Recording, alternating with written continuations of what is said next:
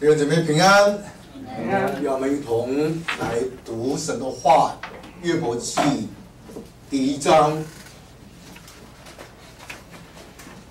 我们来看这个第一章的第九节，一同来。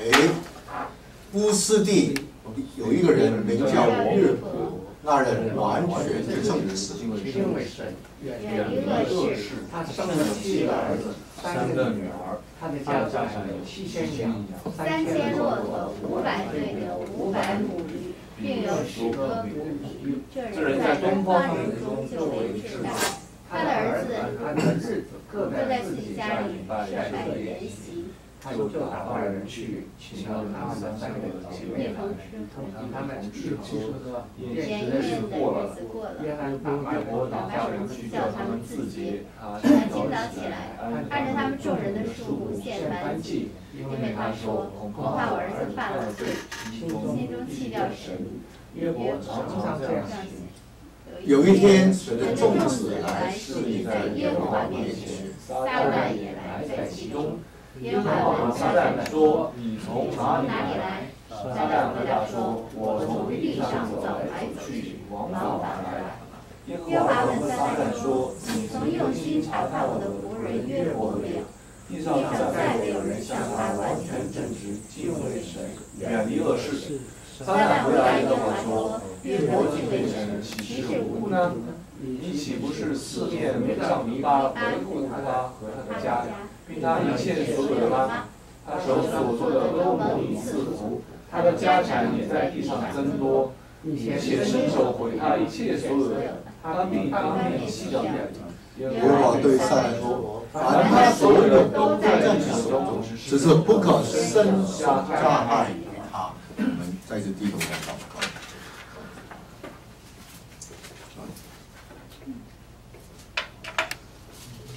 说，当我们看到越伯的苦难，很多时候我们以为很遥远。说，我们现在真的是活在普世的瘟疫的大灾难当中，也面对着加州一场一场的山火。说，我们真的是活在这样一个思念苦难的面前。主，很多时候我们真的软弱，主，我们真的不知道如何能够胜过这些苦难，甚至很多时候我们在问为什么？为什么？如同约伯在你面前的富裕，主，我们真的愿意来到你的面前，你透过约伯记来向我们说话，让我们真的能够明白。这个苦难的背后，有你荣耀的心意，也让我们学习如何来面对我们的苦难，超越我们的苦难，胜过一切的苦难，如同那个仆人约伯，到最后得着你双倍的祝福，做我们仰望你，帮助我们。听我们同心的祷告，奉耶稣基督的名。阿门。我从香港一九八四年去到费城去读神学，我永远不会忘记第一个圣诞节参加一个长老家里的圣诞聚会，他看我们从。外地第一次来到美国，就邀请了我们神学生两个家庭，去到他家里面，我们在那边吃圣诞的大餐，唱圣诞歌，哇，真的是非常的荣耀。第一次感受到在美国过圣诞节。一个长老叫李达志，是一位非常爱主，在中国教会里面侍奉的长老。后来我认识他，听到他很多的见证，知道他真的为了在教会的中心，甚至有更好的公司、更高的职位，邀请他啊离开费城，给他 promotion 很好的 bonus 很好的呃位置，但是他清楚神要他留在教会，忠心的做长老。代职侍奉，他拒绝了高薪的邀请，一直在费城的一个中国教会忠心的侍奉神。就我读完费城的神学，就去了纽约牧会，后来又来加州牧会，很奇妙的神带领我，差不多十年后又回到费城读博士班，结果知道这位长老患上了癌症。痛苦多年的面对这个癌症的征战，到最后被主接去。我参加了他的追思礼拜，他的师母到最后给我们一个个的摸索，感谢我们参与，抓着我的手讲了一句话，我永远不会忘记。He suffered so. much 他受了那么多的苦，我心里想，可能这位师母也不太能够理解，她的丈夫那么的爱主，那么的忠心，十多年在教会里面侍奉，为什么他会癌症末期而？且在末期那个癌症的发作痛苦的不得了，可能他心里面不太能够。接受，他说：“He suffered so much。”同样，我在费城读神学的时候，也碰上一位姐妹，她跟我讲她失败的见证。她说她没有办法理解，也没有办法明白为什么她最爱的丈夫，他们一家从台湾来，先生是个工程博士。结果他的弟兄就在一个车祸里面就撞死了。不但她的丈夫过去了，她说在同一个月，她最爱的母亲也在台湾病死。哇，他说在那段时间，他真的没有办法接受理解神的爱在哪里，留下他一个人带着两个小小的孩子，他怎么能够生活？怎么去面对？他说他跌倒，他没有办法相信神是慈爱的神。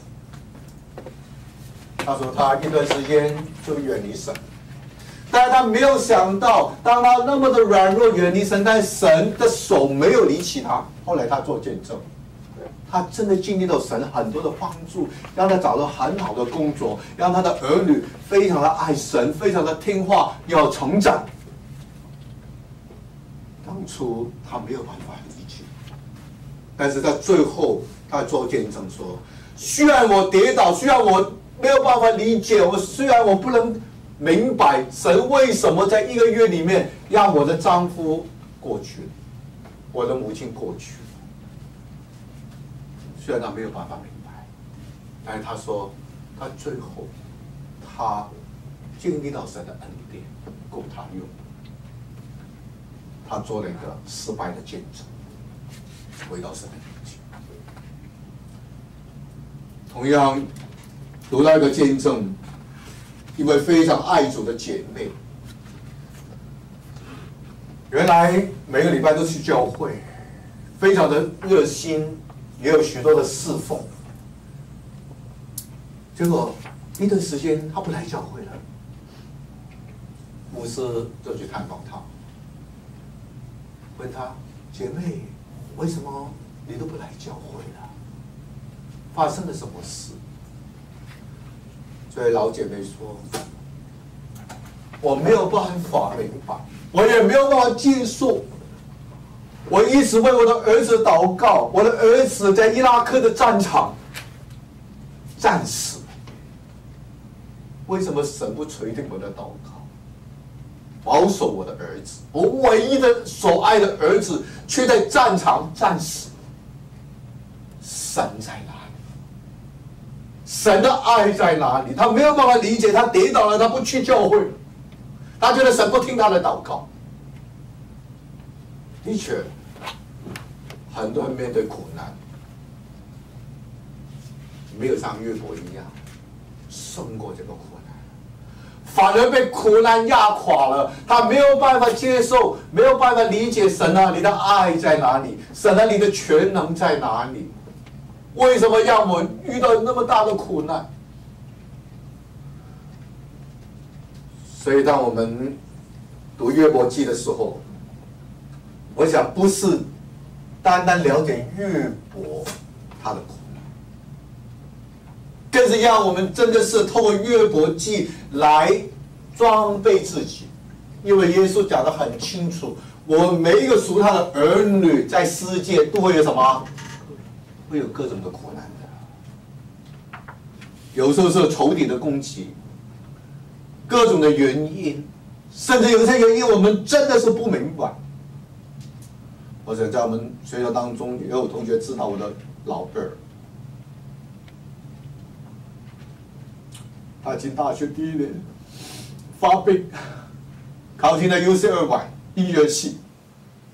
大家 audition 的时候，老师说 You have good voice，马上送他进 U C 二百读音乐系。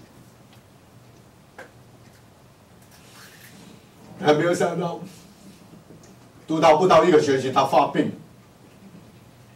后来诊治是摆破了，十多年。很多时候我给师母一些祷告，我们真的不明白，这样一个年轻人，这样的一个病，跟着了他快十五年。很多时候，我觉得我能侍奉吗？我的孩子那么的软弱。但是我真的发现神的恩典够我用，他的能力在软弱人身上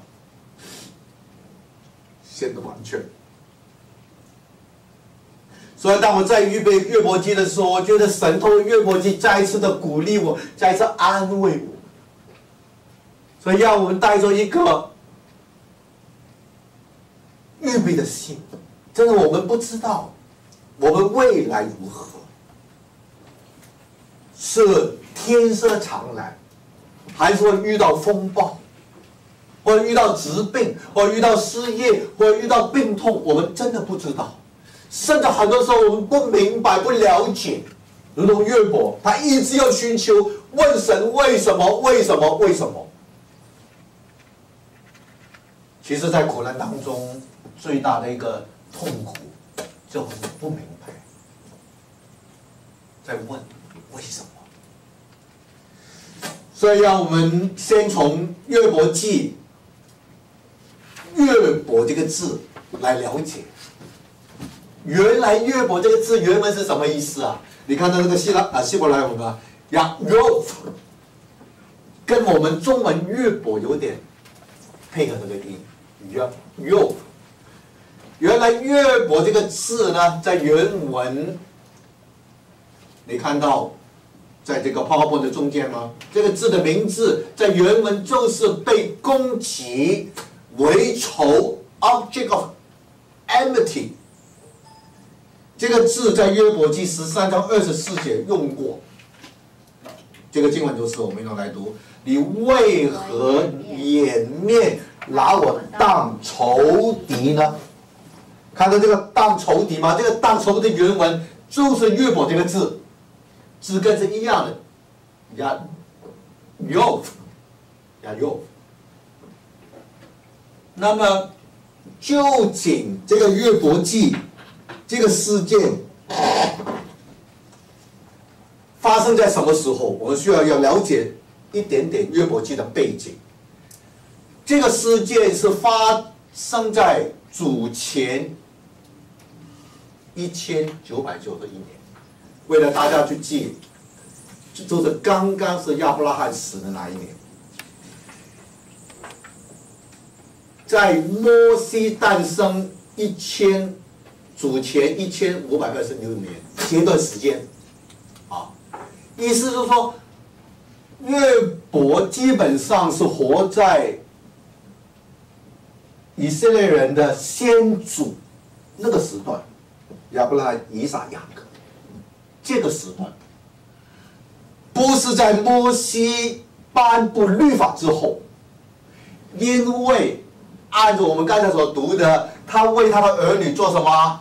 献祭，家长献祭这个事呢，是在先祖时期才可能的，因为到了摩西律法时代，是祭司才能够献祭的，啊，所以是啊非常早期的一个人物约伯。那么这个约伯记成为圣经被写下来，大概是什么时候写作的呢？一个论点是，在主前九百三十一年，在所罗门做王，直到五百八十六年亡国这段时间写的，是借着这个以利户他的笔记口传下来，写了这个约伯记。因为你想想，约伯记是很前的，祖前啊啊一千五百多年之前的。但是另外一个说法，按照犹太人的 Talmud 啊，他们犹太人的经典里面记载呢，他们认为犹太人认为呢，约伯记是摩西写的，是连同摩西五经一起写的啊，两种说法啊。那么这个地方乌斯地啊，究竟在哪里啊？那么，按照《创世纪》第十章二十三节、三十节所描写的啊，我们来读一下，一同来。闪的儿子是以兰、亚熟，看到吗？亚法沙、路德、亚南。亚南的儿子是乌斯，他们所住的地方是从米沙直到西发东边的山，所以肯定就是这个乌斯地。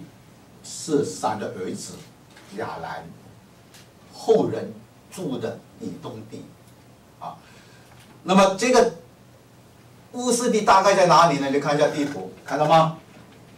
在沙乌地，今天的沙乌地亚拉伯最北西北边一个宽的啊，乌斯地啊啊，属于以东地的一部分啊，所以我们就有个大概的。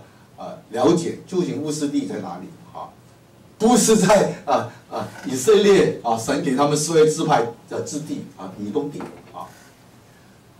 那从约伯，我们去了解他的家谱的可能性啊，不同的书有不同的论说，基本上呢，三种的说法啊。第一种说法呢，他是以扫的曾孙啊。为什么？因为在创世纪三十六章三十三节呢，讲了一段话，我们一同来读。以色列人一同来，以色列人未有君王治理先，在东地做王的记在下面。他死了，斯拉人希拉的儿子约巴约巴接续他做王。有一些的解经家认为，这个约巴的原文呢，跟约伯是同一个字根，所以。约伯是当地的一个非常尊贵，后来被尊为一个地方的一个一个长官、一个王、一个管理者，啊，啊，这是其中一个说法。第二种说法呢，认为他的祖父是雅各，父亲是以撒加，啊，那么就是按照创世纪四十六章啊啊来推论。啊，那这是特别是马友长牧师他赞同的一个说法啊，但是我的想法呢，觉得不太可能是这个雅各的曾孙约伯，因为雅各带着他的孩子十六个孩子去到哪里啊？下到埃及，那么怎么会保存以东地呢？他的孙子啊，所以比较难难解释这个问题啊。那么第三就是说他，啊，啊不是以色列人啊，但是肯定应该是闪族的后代啊，啊，所以等于说他是跟亚伯拉罕是等于说对等的啊，啊不是亚伯拉罕的子孙。那么从这个背景，我们特别读了刚才的约伯记第一章。从这个约伯记的前言第一章跟第二章呢，你看到约伯受苦的一些的背景跟原因啊。我说只是一些背景哦，啊，约伯受苦的原因，我们会好好的从约伯记里面去寻找啊。但是其中两个重要的原因呢，在第一章跟第二章呢有说明啊。那在第一章里面，我们看到一个什么的光景？看到发生一件什么事情？发生在天上的一件事情。啊在天上的一个属灵的征战，啊，就是撒旦在众使者面前，在神的面前控告约伯。那我们要了解这个背景呢，我们先解释一下刚才所读的约伯记第一章。第一件事情，你发现在第一章描写约伯是什么？那人什么？完全正直啊！注意哦，这个完全正直不是指到约伯完全没有罪哦，啊，这个完全正直是针对他远离恶事啊，在行为上可以说外表上看不出有恶事、有犯罪啊，不是指到约伯。是完全人，因为当我们读到最后，约伯经过这一切苦难之后，他怎么在神面前认罪的？他说：“我在芦苇中懊悔、厌恶自己，看到吗？”所以表示说他不完全。甚至当我们越读约伯记的时候，我们越来越发现。他最大的问题是什么？为什么他一直要去找神来理论？为什么？假如他真的觉得自己是一个卑微的罪人，他的善行真的是不配，他不会找神去理论。他一直在约伯记里面描写他要找什么？找神去理论，表示什么？表示什么？你想想看，家里是约伯。你敢不敢找神去理论？除非你自以为义，懂吗？我有道理，神有没有搞错？我那么的爱你，那么的尽全，那么的行为呃达到标准，你为什么会这样来惩罚我？你看到吗？约伯其实到最后，我们发现的最大的问题是自以为义，自义。所以，我们慢慢会读约伯记，会找出啊，神为什么把这样的苦难准许临到约伯的身上？其实还有更多重要的原因。但是，单单在第一章跟第二章，我们看到其中一个重要的原因，在天上有个属灵的征战，有仇敌的攻击跟控告。第二。接着描写到神的宗旨，有人问：这个神的宗旨是什么意思啊？你们有没有想过，什么叫神的宗旨啊？Sons of God，你有没有注意到这个以色列人用这个 “son” 有个特别的含义的？比如说在新约描写约翰叫做什么雷子。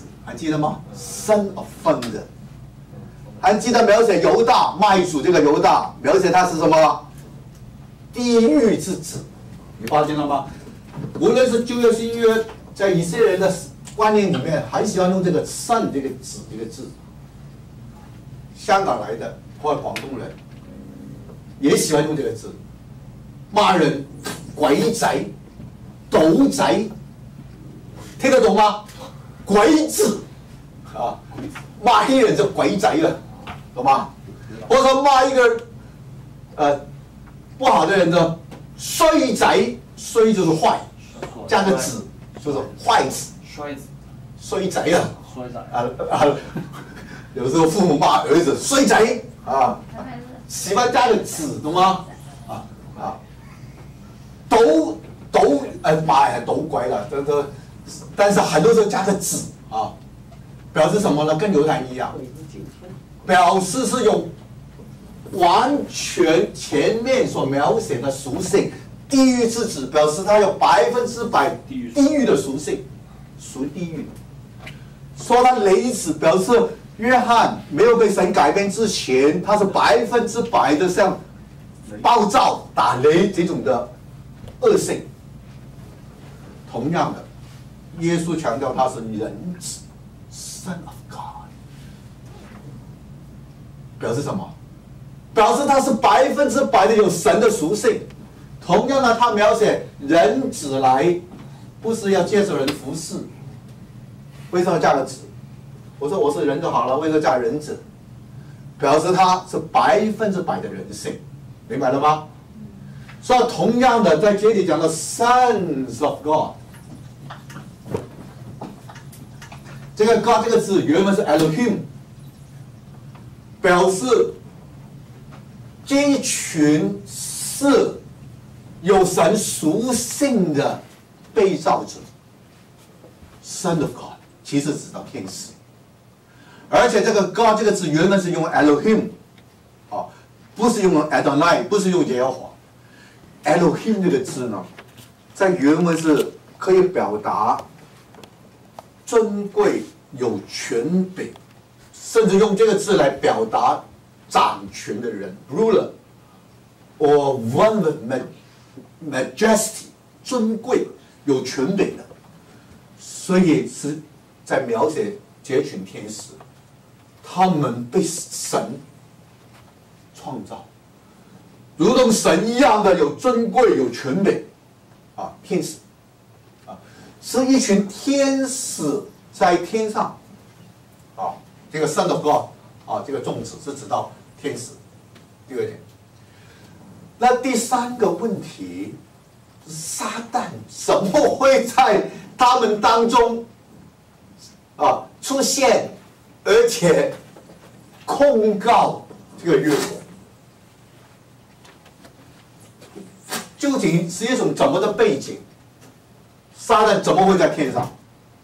我们就要了解，在犹太人的论述当中呢，有一个叫三重天的观念，你还记得吗？保罗讲过，他有三重天的经历，对不对？在犹太人的观念里面呢？这个地球，第一层天就是这个 atmosphere，看得到的空气大气层。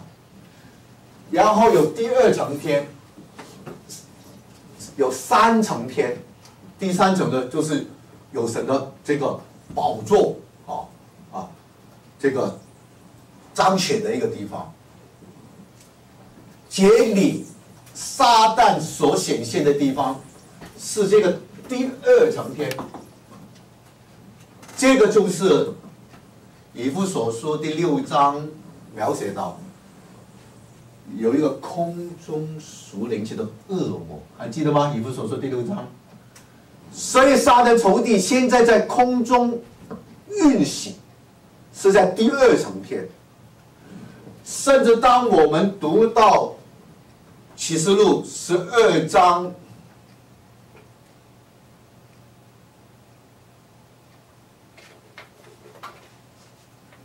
我没有把它打出来。启示录，我们一同翻到启示录十二章第八节到第十节来看一下。启示录，十二啊，十二章，你就了解，在这个天界原来有撒旦的位置的，直到在大灾难当中，撒旦才从天界。啊，被打下来。啊，我们看十二章的第七节跟第八节，好，一同来，在天上就有了征战，米迦勒同他的使者与龙征战，龙也同他的使者去征战，并没有得胜，天天上再没有他们的地方了。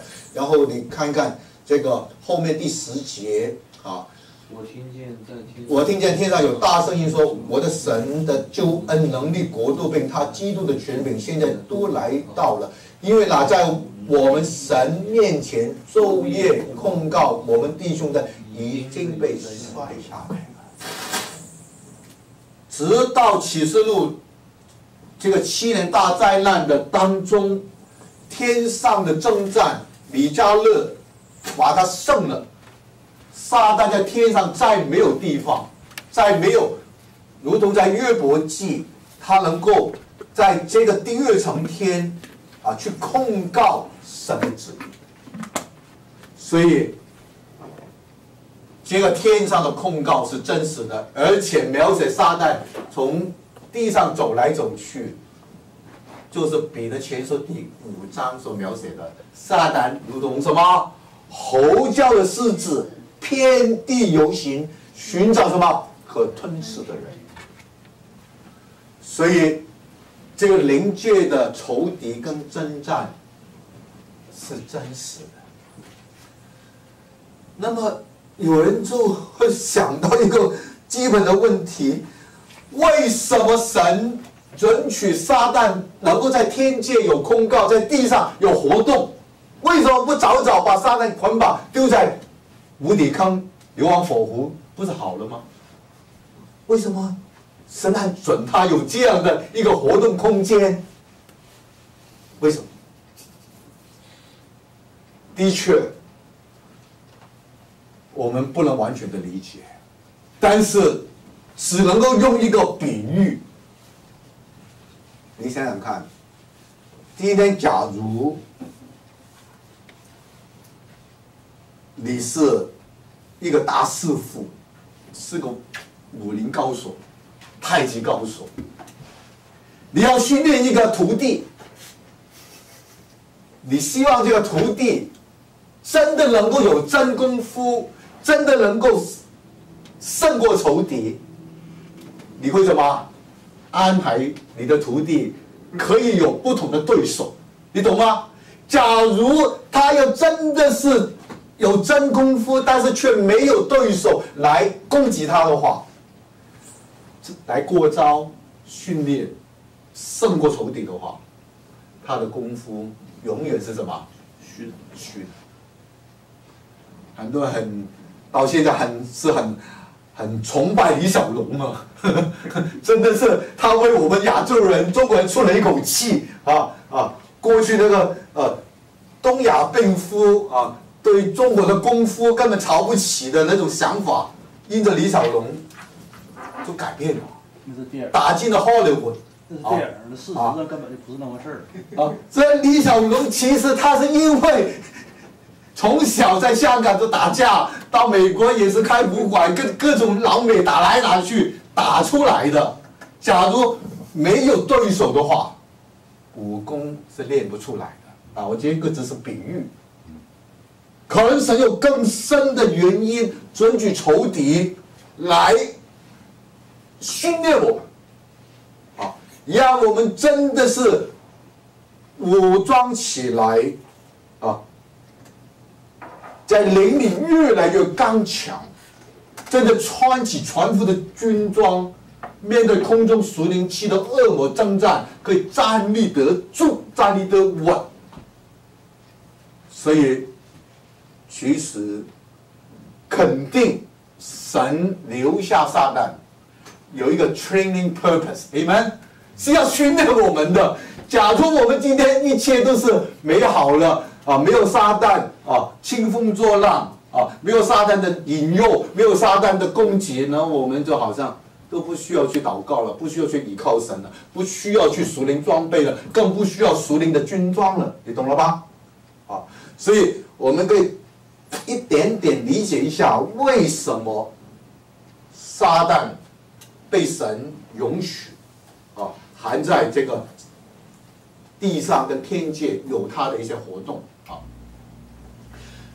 那么你就发现，撒旦在攻击约伯一件什么事情啊？看到他怎么说吗？撒旦，啊，我们一同来读第九节。撒旦回答。一同来说，我从第九节一同来。撒旦回答耶和华说：“约伯敬畏神，其实无故呢？你岂不是四面圈上篱笆，维护他和他的家，并他一切所有的吗？他手所做的都蒙你赐福，他的家产也在你地上增多，你且伸手回他一切所有，他必当面弃掉。所以撒旦这个攻击是要表明什么？表明说，约伯所以敬畏你，是为了好处，为了因为你给他那么多的祝福，所以他敬畏你。你试试看，把一切的好处拿走，他绝对不行，甚至他会离弃你。透过这个控告，神也准许撒旦的攻击。神要透过这个事件，要表明一件我们在信仰上最重要的事情，就是我们今天。信靠神，我们信神，我们跟神的关系是什么关系？是为了得好处的关系，是一个利益的关系，还是是一个真理、信仰、爱的关系？如同保罗所说，无论是生是死，我总是主的人。你能够讲这个话吗？约伯他最后他真的能够讲，赏赐的是耶和华，收取的是耶和华，耶和华是应当称颂的。无论是生是死，你能宣告哇，总是主的人吗？你是否能够像约但以你的三个朋友，面对生命的危险，要丢到火窑里面？你不拜这个偶像，要被丢在火窑里面。他们被丢进去之前，他们讲了一句什么话？记得吗？四个字：积祸不难。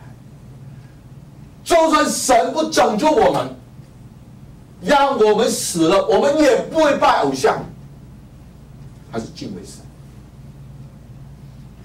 其实神准许撒旦的攻击。他是要让我们全世界的基督徒都能够认识到什么是真实的信仰，让我们去反省今天我们跟神的关系是一个什么的关系。我今天信耶稣是否是因为成功神学？哇！神能够祝福我，让我各方面都蒙福，各方面都得好处，儿孙也蒙福，呃，事业也蒙福。因为这些福气，所以我要信耶稣。你发现今天很多的教会讲的就是这个成功神学，就是撒旦所攻击约伯的那个的重点。你把那么多的祝福给了约伯，约伯大人说爱你了，约伯大人说敬畏你了。你试试看，把这些祝福拿走，他的气绝。很可惜的，今天很多的教会就是中了撒旦仇敌的诡计。我们很多的传道人所讲的就是成功神学，要得好处，得物质。你发现讲这些成功神学一个最大的危险就是，当这些的物质没有的时候，当你生病的时候。你还会信靠神吗？这会不会就像撒旦所攻击约伯的？你拿走他这些祝福，他都当面弃绝你了。所以我们的信仰不能建立在物质的基础。神要通过约伯记，让我们看到什么是真理的信仰，什么是宗教，是两个不同的。我们今天绝对不要有一个宗教的观念，好像一般人他们去求神拜佛，为了什么？天丁发财嘛，升官发财。我们在香港也有很多人去拜拜的，在台湾更是更多，都是为了什么？得地上的好处嘛。假如我拜这个庙不灵，我就换一个庙，哎，别人说哎，这个庙很灵哦，哦，我求几个号码，我就中了这个这个六合彩了。甚至在沙盘求号码、写号码。一般的宗教就是为了这个得好处，甚至得永生。就是伊斯兰教、回教，他们去撞飞机，撞这个五角大厦，撞这个这个纽约的 Empire Building，他们寻到可以上天堂的好处，是我们许多基督徒的信仰，是在一个物质的好处，就像一般的宗教一样。求神拜佛、消灾解惑、升官发财、得好处所以神要通过约伯记，让我们分别出来，我们的信仰绝对不是一个宗教 （religion）。求神拜佛、消灾解惑，我们的信仰是一个真理的信仰，因为神是真理、真实的。我们的阿爸父，我们的创造主，我的救赎主，所以我敬拜他。无论是生是死，我总是主的人。就算我要经过苦难，我能够像大义里的三个朋友说：“饥或不然，饥或神不救我，我还是要敬畏神。”犹太人一个哲学家，呃，叫 Martin Buber，看到吗？中间我写了，看到 Martin Buber 这个名字吗？他是一位非常有名的犹太的哲学家，他写了一本书，叫做《I Thou》，我与你。你知道这位犹太的哲学家讲到。人与人的关系，人的神，人与神的关系。他说，很多时候，我们人与人的关系呢，是个 I in relation，我与他。我所以嫁给你，是因为你很有钱，因为你有个博士学位，因为你。很会体贴，还会照顾我，而且还会做大厨，哇，煮的东西好吃的不得了，也是我心中的白马王子，所以我嫁给你。瓦迪布说：“这个是什么关系啊？我与物质的关系，I add。万一你没有了这些外面的东西，我就跟你离婚了。”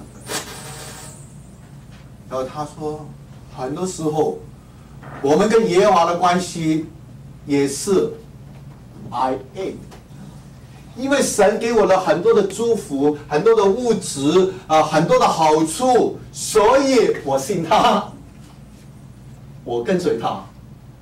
一旦就是 it 没有了，物质没有了，就好像撒旦对约伯的控告，你试试看，把这些 it，把这些外面的好处都拿走。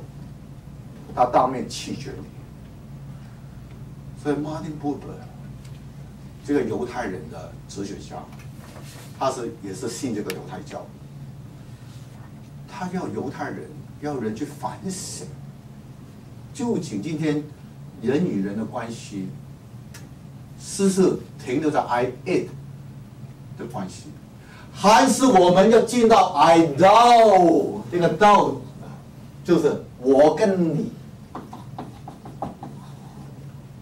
不是因为你外面的 it，因为你有学位，因为你有一百万，因为你很英俊，不是外面的东西，而有这个关系，是超越所有的物质，外面的东西，是个我跟你直接生命的关系。I know，所以他在书里面讲了一个故事，很有意思。这个马丁布本呢，很喜欢骑马，所以他有个马场，养了一匹马。哇，他每天爱这个马哦，哇，这个马真的是走得快，走得稳，而且很会听话，叫他停他就停了，叫他走他就走了，通人性的这个马。结果他这个马年纪大了，有一天走不动了，但是他发现呢，他对这个马的关系一点都不会因为他走不动而改变，他还是那么的爱这匹马，还是把它当做老朋友的牵着它讲话走路，没有因为。这个马失去它的能力，就好像就跟他断绝关系。他跟这匹马是个什么关系啊？I know relation，单单就是你，就是因为你，所以我跟你有一个 I know 的 relation，不是建立在第三者 it 的基础上。有时候啊。师母会试探我，常常会问我一个问题，我不知道你们做弟兄的有没有碰过这个问题？你为什么爱我？你怎么回答？假如你的妻子问你这个问题，你怎么回答？小关，你没有问过崔弟兄这个问题啊？你为什么爱我？没有。哦，没有啊！啊，师傅问过我好多次了。你知道我怎么回答吗？我不能回答，我不能说，因为你。很可爱，因为你很美丽，因为你怎么怎么不能讲，it 懂吗？我每次就是跟他回答，因为我爱你，你为什么爱我？因为我爱你，你只能讲说因为我爱你，你不能讲别的东西，因为你讲别的东西你就麻烦了。记住，James，你不能讲别的东西啊，因为别的东西万一没有，你就不爱我了吗？你就掉到圈套里面了。不能讲原因啊！I just love you. That's simple. I love relation is not I eat. 不是因为你还会做饭，不是因为你会洗衣服，因为你怎么样，你会弹钢琴。No no no. Those are not the reasons. 我就是爱你，被你吸引住，够了，不要再多讲。I love relation. 所以。神让我们认识约伯，读约伯记。 神有一个非常荣耀的心意，让我们好像经历大卫所经历的。记得诗篇二十三篇，大卫怎么说吗？他使我躺卧在青草地上，他使我啊灵魂苏醒，都是他，看到吗？然后。当他经过死荫的幽谷，你的脏、你的肝都安慰我。有没有注意到这个 pronoun 从第三人称他变成什么 do 变成你，他跟神变成是一个第一人称跟第二人称直接的关系了，是一个 I thou relation。虽然经过死荫幽谷，经过苦难，他真的感觉到他跟神的关系，神对他是不离不弃的，不是只是青草地、溪水边，呃，其实好处。他跟神进入一个更深的、真实的关系。I know，他称神为你，看到了吗？不是他了，啊，所以神要透过约伯记。第一，要让我们看到灵界的真实，撒旦如此真实。早上我不是给大家一本书吗？叫做什么名字啊？天堂如此真实。其实我们更要看到撒旦是如此真实。你千万不要以为信了耶稣一切平安稳妥，真的要知道，要警醒祷告。你要好的依靠神，你好好的装备，因为仇敌撒旦如同嚎叫的狮子，遍地游寻，寻找和吞吃的人。连大卫那么爱主的人，他有没有被咬一口啊？他也被杀人咬了一口！看到了吗？他一下不小心，征战回来，睡到这个过了这个快黄昏，眼睛东看西看，不该看的他拼命去看。所以弟兄们小心啊！现在网络很多东西绝对要 say no，很多事情的东西绝对不能碰、不能看。大卫就没有这个警觉，他以为他很得胜，他很得意，看到白斯巴洗澡，这个仇敌的迷惑就抓到他了，眼部的情欲、今生的骄傲抓到他了，夺人之妻、杀人之夫，多可怕！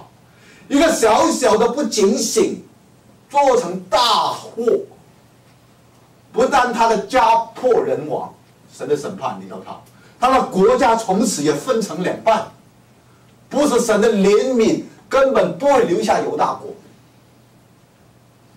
所以仇敌是很真实的。所以很多时候，这些老传道，我们在华盛读书的时候，林院长常常都提醒你们将来做传道啊，最小心一件事情啊，不要晚则不保。因为你以为你是大牧师了，很有恩赐了，大家都捧着你了，大家都夸赞你了，哇，你很有恩赐啊，很会讲道啊，很会牧会啊，教会几千人呢。当你在那边自负自高的时候，仇敌就得着你。所以在美国，很多大牧师会跌倒，啊，从过去啊，我在美国看到很多的大牧师很有恩赐的，不小心就跌倒。在我们中国教会也有。啊，啊我认识的也有，啊，所以真的求神，透过约伯记，我们一定要看到一个很真实的临界征战，看到了吗？天上仇敌在控告我们的，所以才有启示录十二章提醒我们，弟兄胜过他是这个羔羊的血。还记得这个学前退休会吗？仇敌是控告我们的，常常找我们生命中的破口，所以我们一定要看到第一件事情：撒旦是很真实的，灵界是很真实的。以弗所书第六章所描写的那个空中属灵气的恶魔是很真实的。第二，要看到神要透过约伯记。让我们认识到，我们跟神的关系建立在什么基础上？绝对不是物质的基础。对神应许会把各样的物质祝福，如同他在《生命记》二十八章应许以色列，你遵守神的诫命，神要把各样的物质祝赐给我们。但是我们不是为了神的祝福。而信靠他，我们信靠他是为了他确实道路正上。我们信靠他，因为他确实我们的天赋，他是我们的阿爸父。除了他，我们还要认谁呢？懂了吗？是一个真理的缘故，是一个爱的缘故。他是爱我，为我舍己。我不爱他，不跟随他，还爱谁呢？懂了吗？不是因为世界物质的好处。假如是因为世界物质好处的话，初代教会的十二使徒就不会有一个为主寻道的。你发现所有都为主寻道，没有得到世界任何的好处。保罗被砍头，彼得刀钉十字架，老约翰听说在以弗所是先被人丢在油锅里面炸他，没炸死。神把他救出来，后来还是为主寻道，没有一个得着物质的好，都是为了神的国而受苦。你发现今天中国大陆许多爱主的牧师，同样为神的国受苦。啊，我们过去一直为王一牧师祷告，感谢神，他的信仰非常纯正，改革中的信仰。上神的掌权，神的主权，敢做神的先知，责备罪。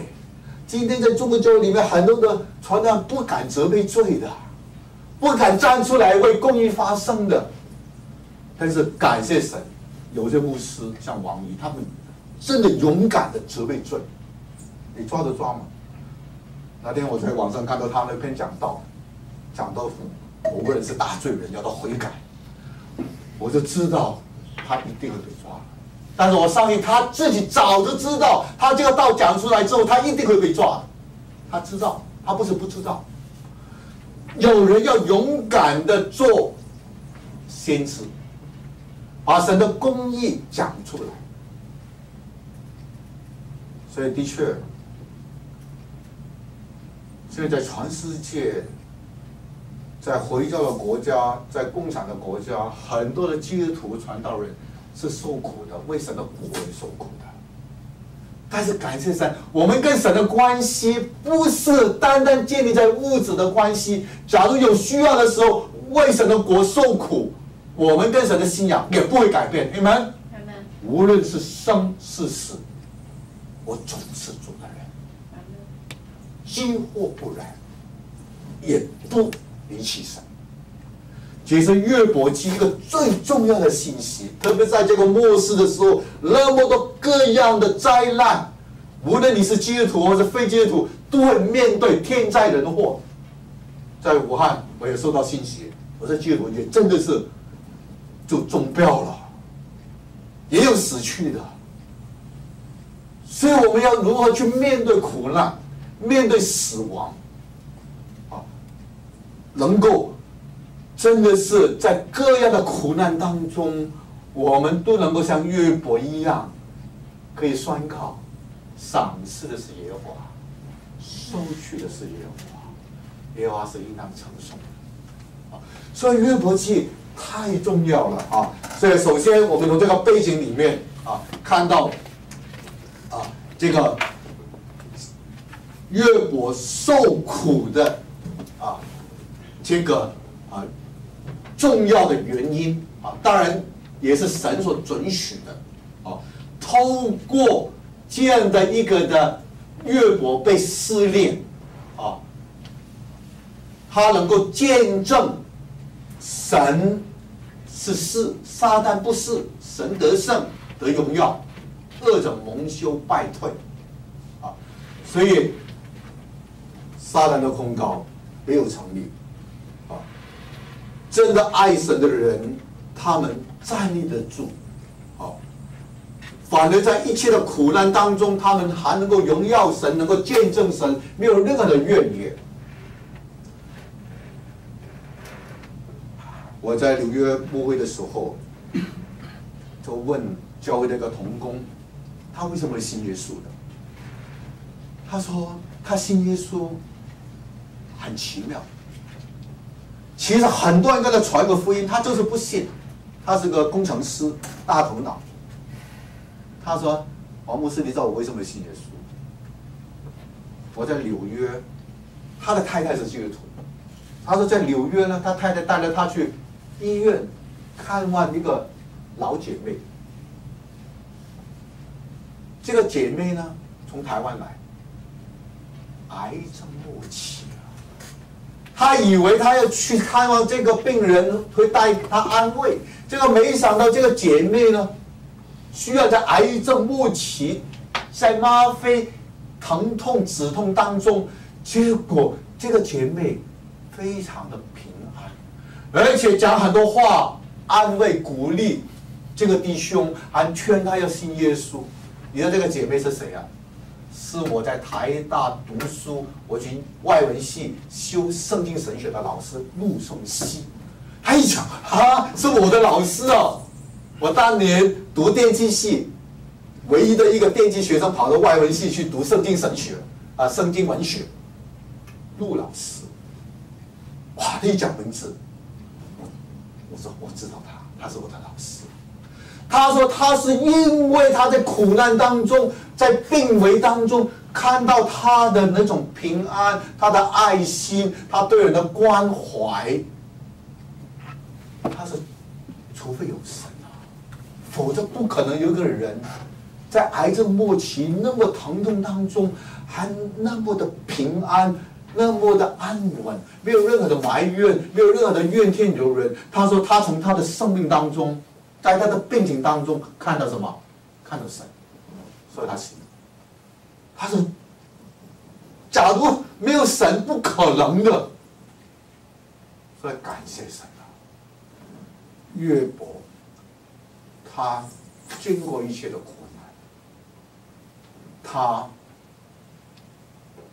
仍然宣告：赏赐的是耶和华，收取的是耶和华，耶和华是应当称颂的。所以约伯记让我们看到，我们如何真的需要。在一些苦难当中，如同耶稣所说的：“你们在世上有苦难，在我的里面有平安。”我们能够胜过这一切的苦难，成为神荣耀的见证。好，我们啊休息几分钟，马上回来。